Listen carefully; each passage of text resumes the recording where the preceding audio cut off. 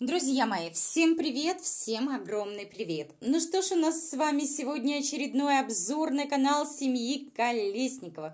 Мои хорошие, продолжаем с вами обозревать последние сводки с полей. А именно сегодняшний ролик колес, последний их киношедевр, друзья мои, который они нам представили. Ну что, мои хорошие, сразу же, да, по горячим следам я, конечно же, с вами.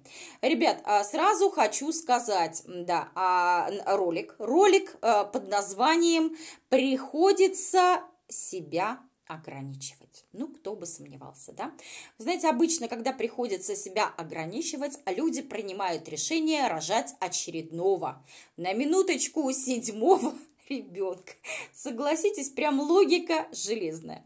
Ну что, вообще хочется сразу сказать, спасайся, кто может, друзья мои. Опять Никитос за главного, да.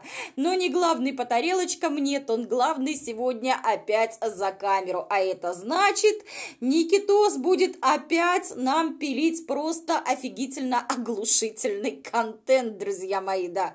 Вот это что-то с чем-то. Я думаю, все прекрасно понимают, о чем, собственно, идет идет речь. А в начале, значит, своего вот этого ролика он говорит, ну вот, всем привет, типа, всем доброе утро, мы проснулись. Ну, слава богу, да, особенно учитывая тот самый момент, что ролик у колес вышел где-то в 19.25 по Москве. Слава богу, что к этому времени вы потянулись, проснулись и вышли, так скажем, да, решили себя показать. Да. А, далее. Далее, как обычно, друзья мои, а в тюрьме сегодня макароны дают, да, вот так вот и в семействе колес тоже макароны. Но, представляете, не пустые макароны. И не макароны с кетчупом, с кетчупом, да, а макароны с мясом. Представляете, Светка что-то там из курицы наваяла, вроде как что-то пожарила.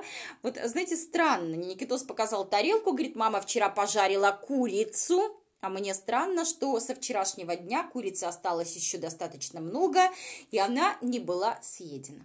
Я так предполагаю, скорее всего, конечно же, детям, ну, в лучшем случае, выдали по кусочку. Всем по кусочку, да. Мамка с папкой, наверное, поели от пуза, как, как говорится, мамке с папкой положено, все понятно.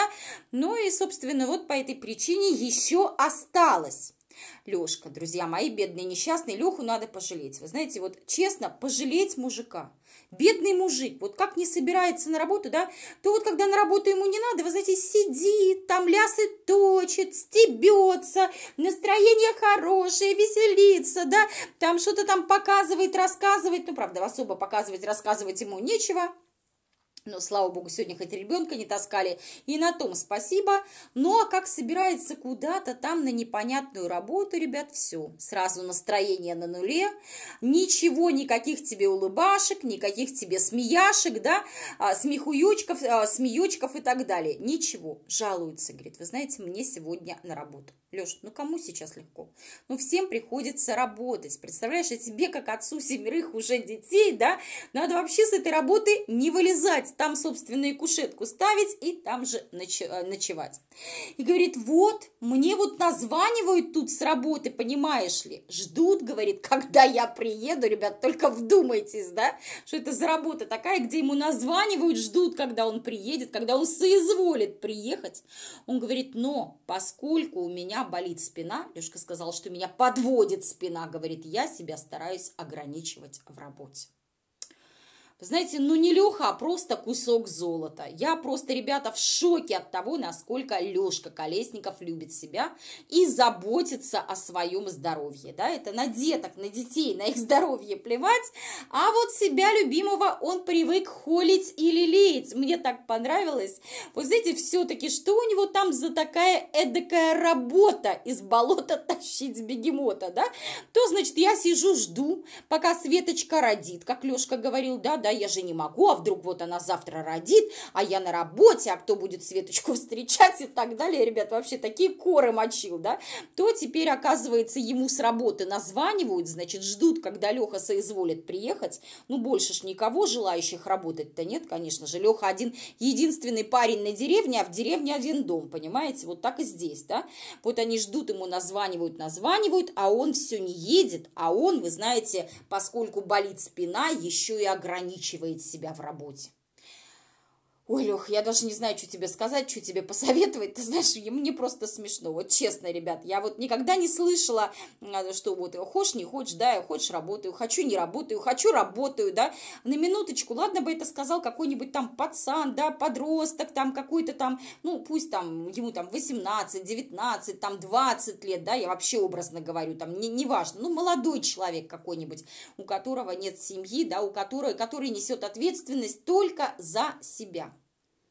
Ну здесь-то папа многодетный, папа семи, семерых детей. Представляете, семеро детей плюс восьмая Светка, друзья мои. Это вам, как говорится, не хухры-мухры. Далее картина маслом, Даринка подметает, говорит Никита. Вот она тут типа ела семечки, вот тут шелуху рассыпала и подметает. Я смотрю на Даринку, Даринка сидит, друзья мои, прям, знаете, вот этими ляжками голыми на полу, ляжками светит. Все, уже, уже штаны а, надевать не надо, не, Свет, уже все хорошо, уже все нормально, да, всю зиму проходили как придурочные на штанах, значит, на, на теплых от комбеза, да, а поверх штанов вот эти вот непонятные юбки, непонятные тюлевые платья, непонятно вообще что, как говорится, а здесь уже сидим, ляхами сверкаем, да, уже все, уже все нормально, как говорится, все хорошо. Да и вообще, ну как вот ребенок сидит у вас прям ляжками на полу, да? Вы хоть скажите ей, пусть она встанет, да? Что Анжелка у них, помните, вот это вот а, полола траву на огороде или уже брюхом прям а, лежала брюхом на этих грядках? Что вот эта мелкая тоже скажет? Нафиг я буду задницу поднимать, да? А, подметает-то вообще-то не так. Не, она сидит там уже склонилась. А, Лешка хоть бы замечание сделал, хоть бы сказал, Дарин, встань, ну что ты делаешь-то? Не, вообще никому ни до кого нет никакого дела. Лешка занят тем, что ему надо плотно поесть есть, друзья мои, ведь у него спинка бобо. И опять, опять Никитос, ребята, пошел на улицу. Я думаю, ну все, пиши пропало, не знаешь, что и делать, куда бежать. Опять трясет нам, показывает эти пакеты с гвоздями. Думаю, так, начинается эпопея, 225 серия, э, да, сериала из э, Субботина. Ну и что, говорит, надо собирать клубнику. Думаю, ну хоть что-то новенькое, надо собирать клубнику, ребят. И пошел он, собственно, в сторону клубники. На грядках уже там, значит, вовсю Настя ходила, собирала.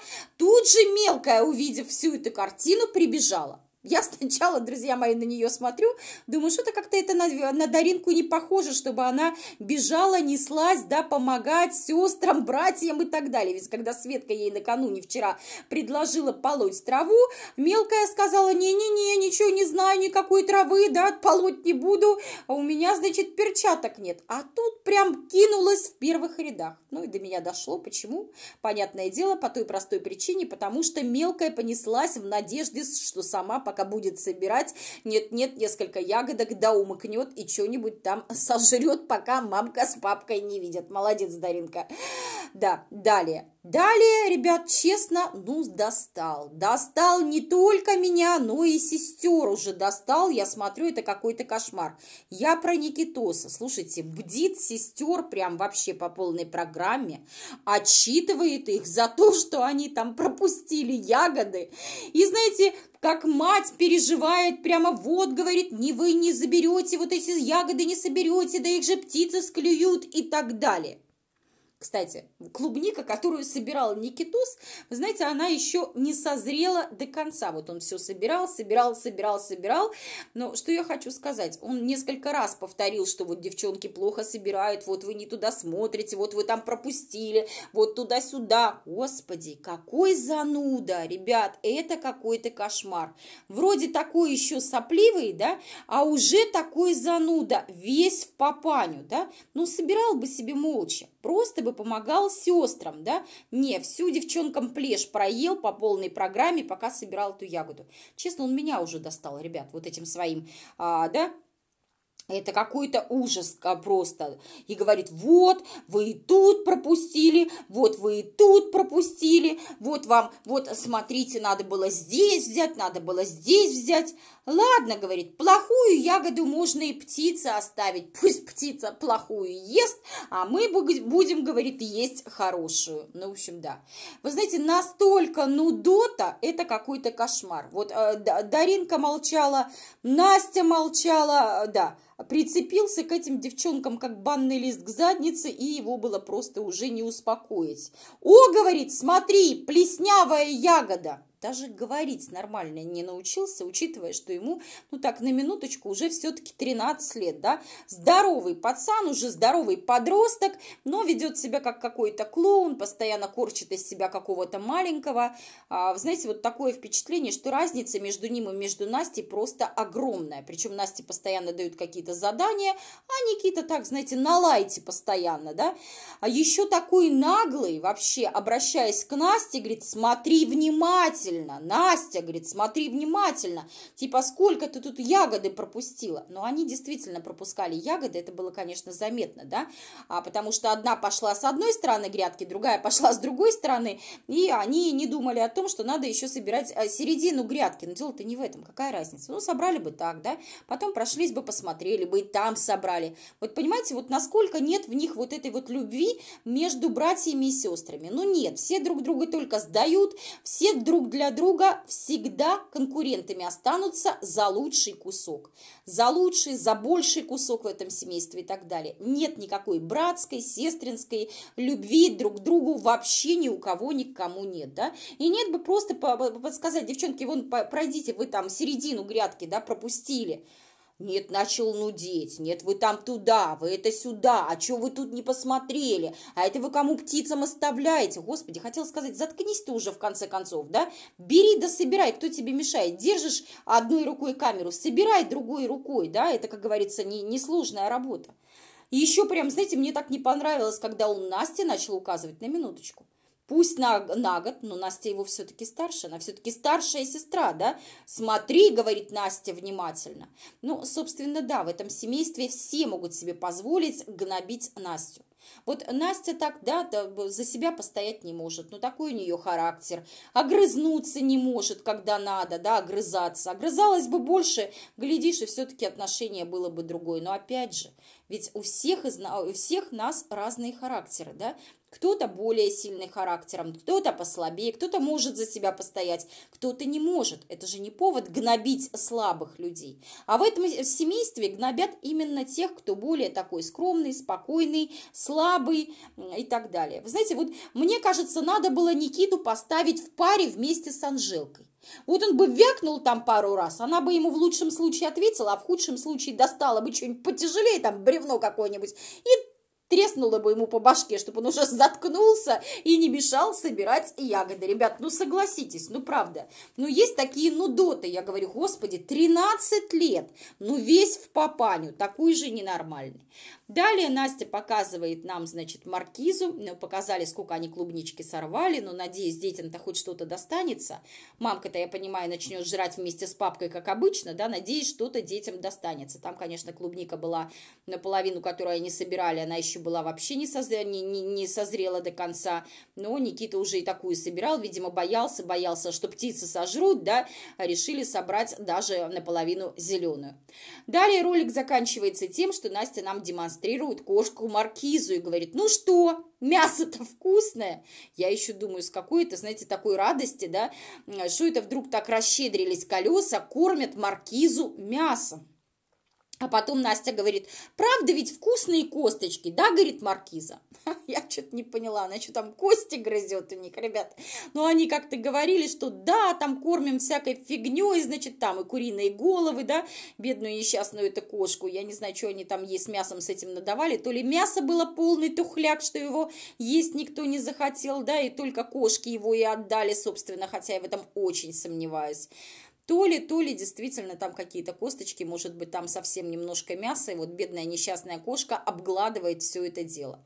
В общем, я сомневаюсь в том, что если бы это было действительно какое-то добро, что колеса бы расщедрились и выдали бы любимой кошке, ну, любимой, да, в кавычках, понятное дело, нужна нам, им, как говорится, как собаке пятая нога, да, выдали бы любимой кошке кусочек мяса, сказали бы, перебьется, как говорит обычно колесо старший. Ну что, друзья мои, вот такой мне получился обзор, собственно, я говорю, спасибо, что сегодня ребенком не тыкали в экран в очередной раз. Вот э, на, на, на этом хотя бы спасибо, да.